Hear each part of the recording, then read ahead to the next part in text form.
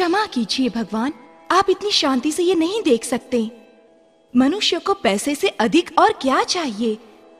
उसे आप जितना पैसा देंगे मनुष्य उतना ही ज़्यादा खुश रहेगा। नहीं देवी अभी भी मैं तुमसे सहमत नहीं हूँ। नारायण नारायण क्या समस्या है भगवान? देवी लक्ष्मी व्यथित दिखाई दे रही हैं। आइए नारद आप ही न्याय कीजिए। देवी लक्ष्मी कह रही हैं, मनुष्य सिर्फ़ धन पाकर जी सकता है, किंतु इस बात से हम सहमत नहीं हैं। आप क्या कहना चाहोगे? मैं मैं तो आपका विनम्र भक्त हूँ। क्यों न हम ये प्रयोग मनुष्य पर करके ही जाँच कर लें? तुम्हारे पास हमेशा ही सही हल होता है, किंतु किस पर प्रयोग करेंगे? ये मैं बताती हूँ प्रभु। मेरे सबसे अच्छे भक्त पर जिसका नाम है मदन लाल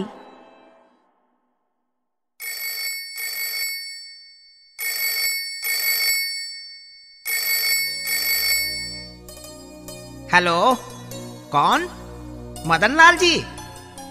क्षमा चाहता हूँ वो अगले एक घंटे तक नहीं मिल सकते। क्यों? क्या वो बाहर गए हैं? नहीं सर वो तो नहा रहे हैं। एक घंटा नहाएँगे? वो पानी का कितना दुरुपयोग करते हैं? पानी? नहीं नहीं मेरे साहब तो सोने के सिक्कों से नहाते हैं सर और उन्हें व्यवधान पसंद नहीं है। कौन है वहाँ? आपको पता नहीं इस समय व्यवधान मुझे बिल्कुल पसंद नहीं। ठीक है अंदर आओ। श्री मेरी प्यारी बच्ची आओ मेरी प्यारी। तो कब जा रही हो तुम पिकनिक के लिए? प्रशिक्षण पिताजी पूरी क्लास जा रही है। मैं भी अभी जा रही हूँ। मैं तो बाय कहने आई थी। हाँ ठीक है। तुम चाहे जो कहो लेकिन मुझे तुम्हारी याद आएगी। तुम अपना ध्यान रखोगी ना? पिताजी दो दिन की तो बात है। मैं बहुत जल्दी लौट आऊँगी। वो तो तुम्हारे लिए मुझसे पूछो।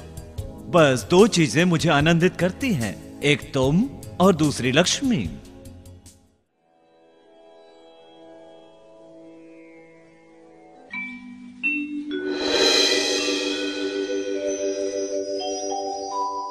श्रीमंत मदनलाल मेरे अच्छे भक्त तुम्हारी साधना से मैं प्रसन्न हुई हूँ। मैं तुम्हें वरदान देना चाहती हूँ। बताओ तुम्हें वरदान में क्या चाहिए? हे देवी माँ मैं और ज़्यादा क्या चाहूँगा सिवाय तुम्हारी साधना के? मेरी एक ही मनोकामना है कि मैं जिसको भी छू लूँ वो सोना हो जाए। तथास्तु। ओ शुक्रिया देवी शुक्रिया। मैं पृथ्वी का सबसे खुश नसीब इंसान बनूँगा। क्या बात है देवी? ये खुशी किस बात की? आनंद का कारण बताती हूँ। मुझे लगता है आप चुनौती हार गए हैं प्रभु। जरा देखिए तो मदनलाल को मेरे भक्त को। मैंने अभी उसे वरदान दिया है। वो जिसे भी छुएगा वो सोना बन जाएगा। वो आनंद से फूला नहीं समा रहा है। ओ बेचारा मनुष्य वो जानता नहीं कितने दुख उसकी राह देख रहे हैं। आप ऐसा क्यों कह रहे हैं? इसमें क्या गलत है? आपने ये खेल शुरू किया है, देवी। अब आप ही देखिए इसका क्या परिणाम होता है। जिसे भी मैं छूँगा, वो सोना बन जाएगा।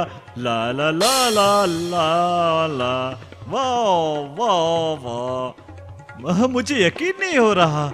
मैं पूरी दुनिया में सबसे अमीर हो जाऊँगा। मेरी संपत्ति कुबेर जितनी हो जाएगी। वाह!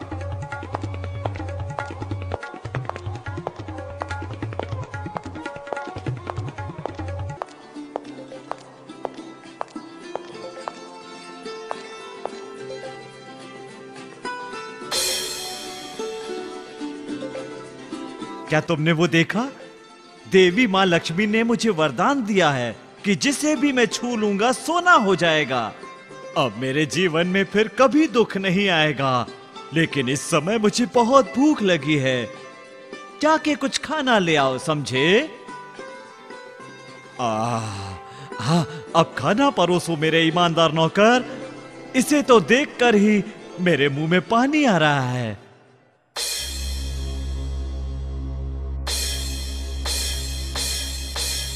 हे भगवान हे भगवान हे भगवान। चिंता मत कीजिए मालिक मैं खिलाता हूँ आपको।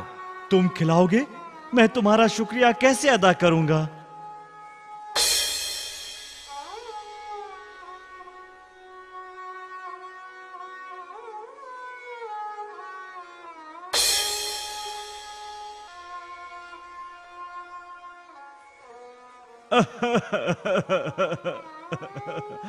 हे भगवान मैं बहुत भूखा हूँ। अब मैं क्या करूँ? न बूंद पानी पी सकता हूँ और न खा सकता हूँ।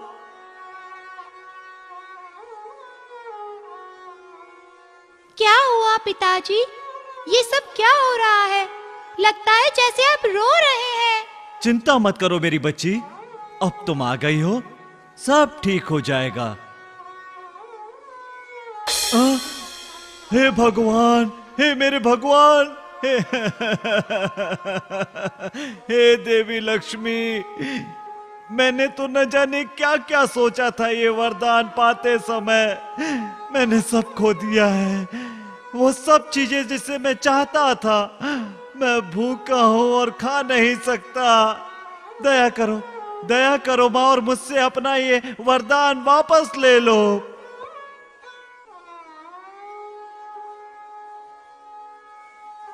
तुम्हें नहीं लगता तुम्हारा भक्त मदन लाल तुम्हें पुकार रहा है? और वो आनंदी भी नहीं दिख रहा। कहिए देवी। हे भगवान, बंद कीजिए ये खेल खेलना। आप सब जानते हैं कि ये ऐसे ही हो गया। वो मेरी गलती थी जो मैं सत्य नहीं देख पाई। मैं गलत थी। संपत्ति सब कुछ होकर भी मनुष्य के लिए महत्वपूर्ण नहीं है, जो उसे आनंदित करे। अब कृपा करके क्षमा कीजिए और मेरे दुखी भक्त मदन लाल की मदद कीजिए प्रभु। मैं खुश हूँ।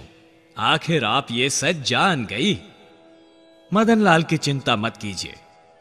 कल जब वो नींद से उठेगा तो सोचेगा कि उसने एक असंभव सपना देखा।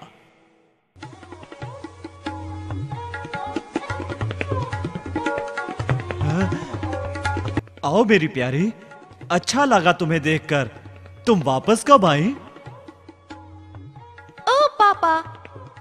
कहा था ना कि आप मुझे याद नहीं करेंगे?